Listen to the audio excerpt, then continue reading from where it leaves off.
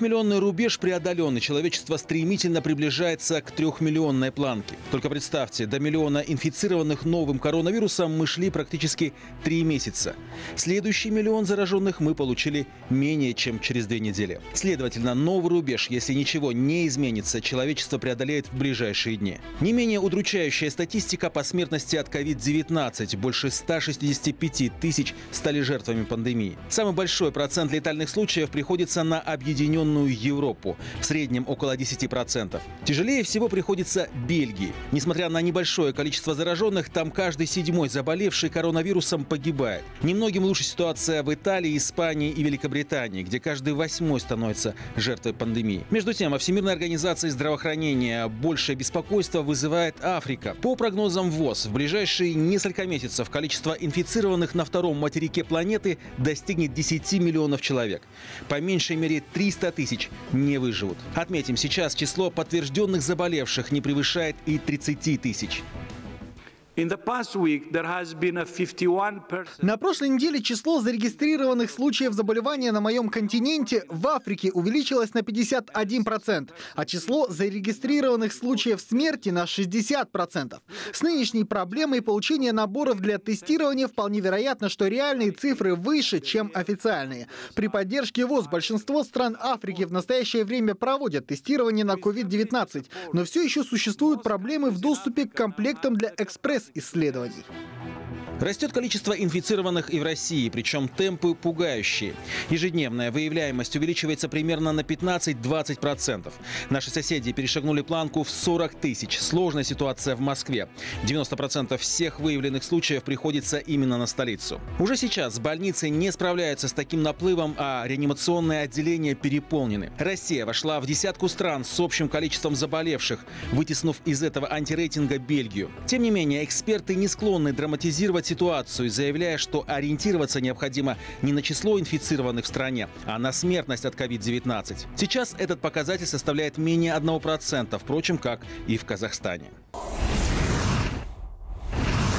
Куда сложнее ситуация с распространением коронавируса за океаном. В США уже почти 800 тысяч инфицированных, а это каждый третий на планете.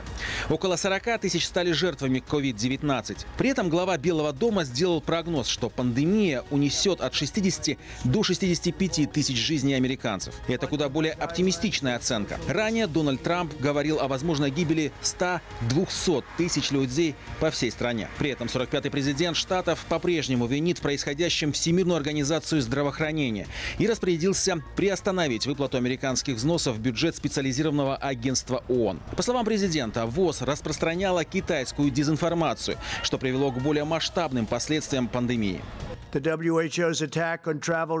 Реальность такова, что ВОЗ в достаточной мере не получала, не проверяла и не распространяла информацию своевременным и прозрачным образом. Мир рассчитывает, что организация будет работать со странами, распространяя своевременно точную информацию об угрозах здоровью. Но этого не происходит. ВОЗ не выполнила свой основной долг и должна понести ответственность.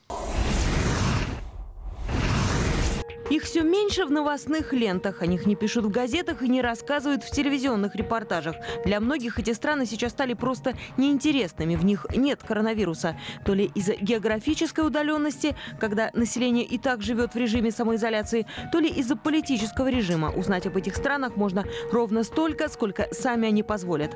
Вот кадры, снятые северокорейскими журналистами. Страна отмечает 108-ю годовщину со дня рождения ее основателя Ким Ир Сена. Весна в разгаре, в руках у прохожих цветы и никакой социальной дистанции. Ни один человек не раз заявляли в Северной Корее не заражен коронавирусом. Мы предприняли комплекс предупредительных и научных мероприятий, включающих как инспекции, так и карантин для тех, кто въезжает в нашу страну. Тщательно дезинфицировали все товары, закрывали границы, перекрыли морские и воздушные сообщения. В нашей стране до сих пор не заражено ни одного человека. Кто-то верит, кто-то нет, но доказать что-то трудно. Оливер Хотхэм, главный редактор специализированного сайта новостей NK News, тоже сомневается. Но привести какие-то серьезные аргументы не может. Сослаться на достоверные источники тоже.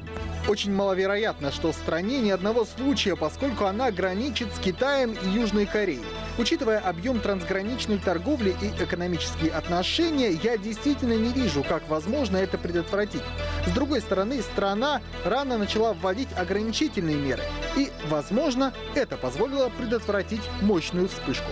Северная Корея действительно начала бороться с коронавирусом гораздо быстрее, чем многие другие страны региона. В конце января там закрыли границы и отправили на карантин сотни иностранцев в Пхеньяне. 10 тысяч человек находились в изоляции, около 500, по некоторым данным, все еще остаются на карантине. Так неужели ни одного случая? Ни одного. В противном случае для северокорейских властей это поражение. Слишком много ресурсов государство вложило в пропаганду, объясняет Ходхам. А это Таджикистан. Здесь тоже самоизолировались, но не настолько, чтобы сидеть дома. Въезд в страну пока закрыт, но внутри можно передвигаться без опасений. Даже футбольный сезон начался по графику. К счастью, в нашей стране нет случаев заболевания коронавирусом, но мы, чтобы не рисковать, пока не будем открывать стадионы.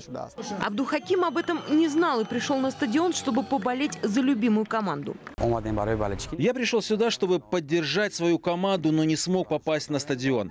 Я спросил у охранников о результате. Они сказали, что Истеклол победил 2-1. Нам, конечно, не хватало эмоционального заряда болельщиков, которые бы гнали вперед, которые бы давали эмоциональный импульс нам. Поэтому, естественно, нам их не хватает.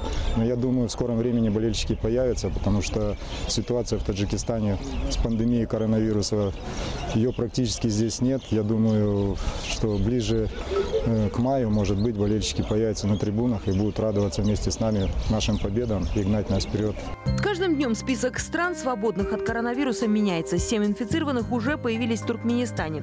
Не спасли ни закрытые границы, ни окуривание помещений токсичной травой. Использовать гормолу рекомендовал глава государства в своей книге о лекарственных растениях. Впрочем, журналисты оказались проворнее. Они первыми выложили в сеть видео из палаточного лагеря в Туркменабате, где мужчины с подозрением на коронавирус проводили двухнедельный карантин.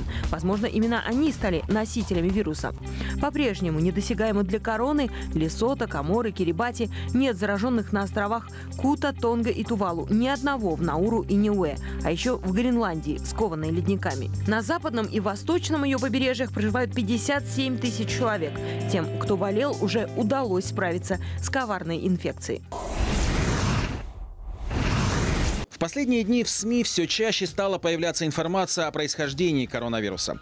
Упреки звучат в адрес Поднебесной. Якобы там, в Уханьской лаборатории, и произошла утечка смертельной инфекции. Ранее один из американских телеканалов сообщил о нулевом пациенте с коронавирусом. По его данным, заражение пошло от сотрудника китайской лаборатории. Позже Майкл Помпео заявил, что Вашингтон рассчитывает, что власти КНР допустят иностранных специалистов в Уханьский исследовательский центр, из которого, по утверждению ряда американских СМИ, якобы якобы и мог начать свое путешествие по миру новый коронавирус. В Пекине не оставили без комментариев заявление госсекретаря США. Позиция Китая в отношении происхождения и путей передачи нового коронавируса ясна. Это вопрос науки. Мы должны полагаться только на выводы ученых и экспертов. Я хотел бы напомнить вам, что в ВОЗ неоднократно заявляли, что нет никаких доказательств того, что вирус получен в лаборатории. При этом многие известные в мире ученые также опровергли теорию утечки вируса из лаборатории как вовсе не научно обоснованную.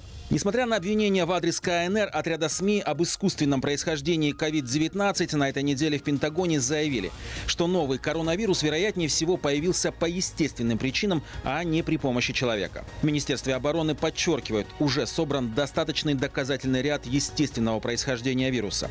Однако там оговорились, что это не окончательный вывод. Китайские ученые приступили к клиническим испытаниям еще одной вакцины от коронавируса нового типа. Таким образом, в Поднебесной тестируют уже три прививки от COVID-19. Испытывать вакцину будут рандомизированным двойным слепым методом и сопоставлять тесты с плацебо. Ученым предстоит выяснить, насколько безопасна и иммуногенна вакцина для здоровых людей и детей старше 6 лет. Между тем, в Великобритании начали массовое испытание лекарств от коронавируса. В тестировании препаратов примут участие около 5 тысяч инфицированных COVID-19 и 165 госпиталей по всему королевству.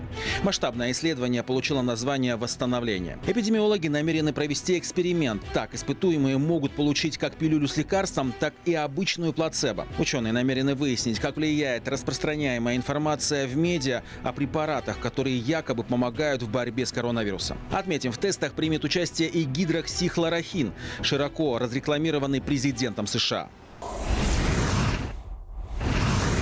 Мы помним уроки 1986 года, и никто не будет скрывать от вас правду. Так, через 10 дней после начала пожара возле Чернобыльской атомной электростанции президент Украины сделает первое публичное заявление по ситуации уже после того, как Владимиру Зеленскому доложат, что возгораний в зоне отчуждения нет.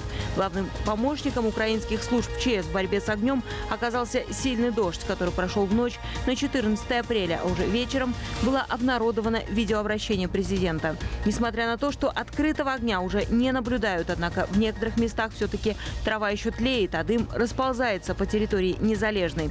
Начиная с 8 апреля Государственная инспекция ядерного регулирования Украины постоянно передавала международным партнерам информацию о пожаре в зоне ЧАЭС и о повышении радиационного фонда. МАГАТЭ поясняют, изменение уровня радиации связано со сгоранием сухой травы, вобравшей в себя радионуклиды из загрязненной почвы. Тем не менее, согласно данным украинской стороны, возросшие в результате пожара параметры не представляют риска для здоровья населения. Джулиан Ассанж, будучи в изоляции в лондонском посольстве Эквадора, дважды стал отцом. Об этом сообщила его невеста Стелла Моррис, добавив, что отношения с основателем Wikileaks у нее начались в 2015 году, а спустя два года они обручились.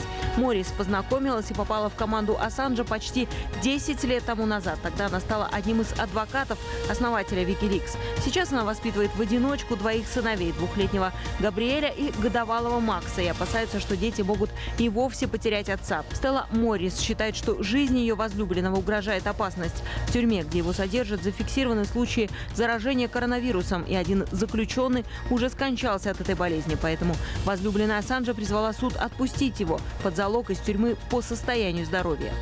Минувшее воскресенье и понедельник на юг США обрушились торнадо. Стихия разрушила сотни домов в штатах Техас, Алабама, Арканзас, Миссисипи и других, оставив больше миллиона человек без электричества. Не обошлось без жертв. Свыше 30 человек погибли из-за непогоды. По данным USA Today, эта серия торнадо стала самой смертоносной за последние шесть лет. Метеорологи отмечают, такие погодные явления не редкость для юга США в это время года. Однако на этот раз торнадо были более интенсивными, чем обычно. Октоберфест 2020 может не состояться, несмотря на то, что окончательное решение по празднику еще не принято. Премьер-министр Баварии настроен очень скептично. Маркус Зёдер в среду заявил, что с трудом может представить себе проведение традиционного баварского праздника пива в этом году с учетом бушующей по всему миру пандемии. Точку поставят в ближайшие дни недели после консультаций с бургомистром Мюнхена. Отметим, проведение всех массовых мероприятий в Германии официально запрещено до 31 августа августа. Предполагалось, что пивной фестиваль пройдет с 19 сентября по 4 октября. Ежегодно он собирает около 6 миллионов посетителей, большая часть из которых – это зарубежные туристы.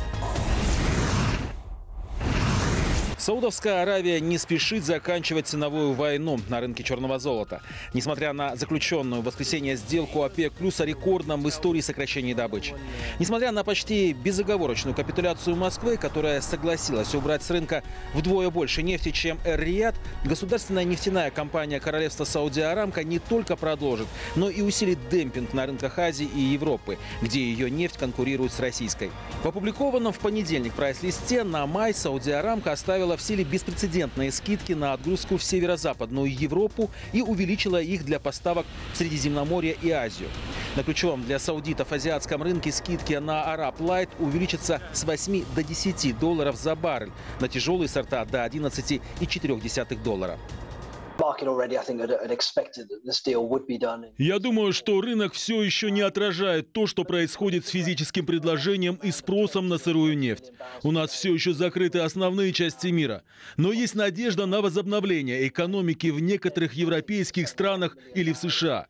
Скорее всего, открытие будет очень ограниченным. Безработица и банкротство некоторых компаний нанесли огромный ущерб, от которого трудно будет оправиться, даже если сам вирус будет в значительной значительной степени преодолен. Неделю назад Организация стран экспортеров нефти и другие ее производители договорились о рекордном сокращении добычи, чтобы поддержать цены на нефть в условиях пандемии коронавируса. На экстренной видеоконференции ОПЕК+, участники согласились приступить к выполнению плана уже с мая. Он будет состоять из трех этапов и продлится два года. В мае и июне добычу снизят почти на 10 миллионов баррелей в сутки, во второй половине года еще на 7 миллионов и на последнем этапе еще на 6. Почему Саудовская Аравия продолжает ценовую войну, какие возможные цели преследует и к чему это может привести, мы попросили прокомментировать эксперта. Возможно, Саудовская Аравия э, преследует еще ту цель, чтобы показать, что если согласия не будет э, среди всех участников рынка, то последствия могут быть вот настолько неблагоприятными, что цены уйдут еще ниже. А куда это все придет? Я, я думаю, что придет оно к еще большему снижению цен э, на нефть, потому что на самом деле сейчас ситуация определяется уже не соглашениями ОПЕК, ОПЕК+, плюс, даже вот соглашением всех участников рынка, включая западные страны. Сейчас ситуация определяется все-таки тем кризисом, который все большую силу набирает в мире, резким снижением спроса на нефть. Это уже не игры э, финансовых спекулянтов, это уже не биржевые манипуляции некие, это уже реальная Э, зафиксированная экономика, снижение, очень сильное снижение потребления нефти в мире. Скорее всего, мы увидим новые низы, э, ниже 20 долларов, скорее всего, будут цены в интервале 10-15 долларов. В минувший вторник Международный валютный фонд представил всемирный экономический прогноз, согласно которому спад глобальной экономики составит 3%. Это будет первая мировая рецессия с 2009 года, когда глобальная экономика сократилась на 0,08%. Согласно прогнозу МВФ, рецессия затронет 157 стран мира. Отметим, еще в начале этого года аналитики фонда пророчили рост глобального ВВП на 3,3%. Но свои коррективы внесла разразившаяся пандемия коронавируса. awesome.